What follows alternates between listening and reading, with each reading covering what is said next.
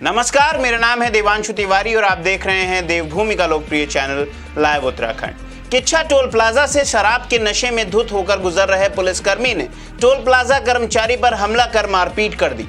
हमलावर प्लाजा के केबिन में जा घुसा और टोल कर्मचारी पर हमलावर हो गया। आपको भी दिखाते हैं क्या है पूरा मामला।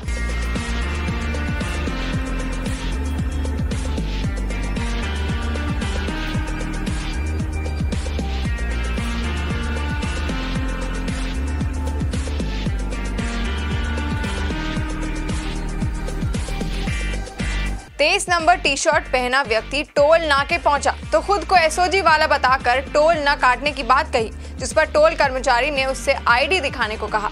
जो एक नियम है, पर अपना कार्ड दिखाने के बजाय नशे में डूबे पुलिस कर्मी ने इस बात पर टोल कर्मचारी की जमकर धुनाई कर दी। आईडी कार्ड मांगने पर टोल प्लाजा के दो कर्मचारियों के साथ जमकर मारपीट करने वाले को लालपुर पुलिस चौकी ने पूरा संरक्षण दिया। यहाँ तक कि झगड़े की शिकायत पर आया ऑन ड्यूटी सिपाही भी इस बिगड़ायल पुलिस वाले की गुंडागर्दी का शिकार बन गया।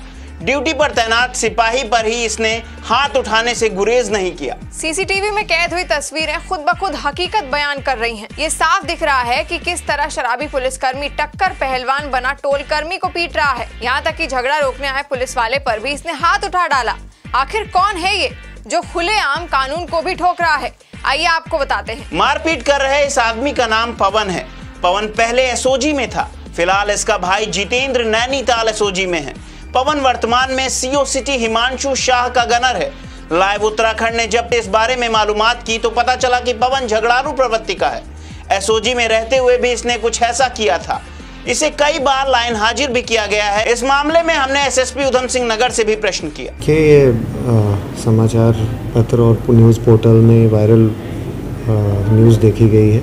इसमें थाना अध्यक्ष जो किच्छा हैं उनको बताया गया कि मौके पर जाके जाँच करके तत्काल रिपोर्ट भेजें और अगर इसमें गलती पाई जाएगी और वीडियो का अवलोकन किया जाएगा तो विभागीय कार्रवाई संबंधित कर्मचारी के खिलाफ की जाएगी। मित्र पुलिस का जलवा देखिए। मामला रात ही रात निपटा दिया गया।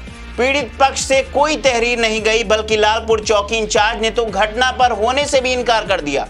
अब सवाल ये खड़ा होता है कि सारे मामले पर एडीजी अशोक कुमार क्या संज्ञान लेते हैं और ठोस कार्रवाई निर्देशित करते हैं ताकि पूरे सूबे की जनता सुरक्षा का एहसास कर सके। लाइव उत्तराखंड पर बने रहने के लिए बहुत बहुत धन्यवाद। देखते रहें लाइव उत्तराखंड, खबरें उत्तराखंड। उत्तराखंड की हर खबर देखने के लिए सब्सक्राइब करें लाइव उत्तराखंड और बेल आइकन दबाना ना भूलें।